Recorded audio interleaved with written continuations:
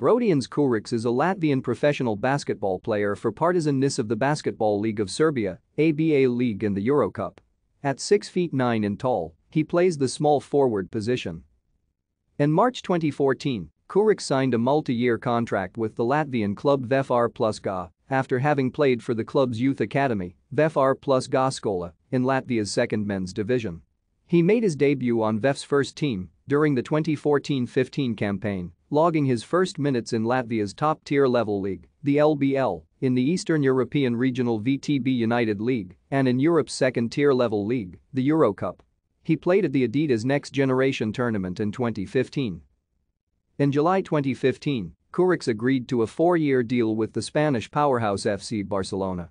He then spent the 2015-16 season playing in the junior club of FC Barcelona. In 2016, after turning 18 years of age, Kurucs joined the reserve team of FC Barcelona, FC Barcelona B, of the LEB Oro, which is the second-tier level in the Spanish league system. Kurucs made his debut in the European-wide top-tier level EuroLeague on 24 March 2017 in a 67-54 home win against Crvena Zvezda Belgrade. Thank you for watching.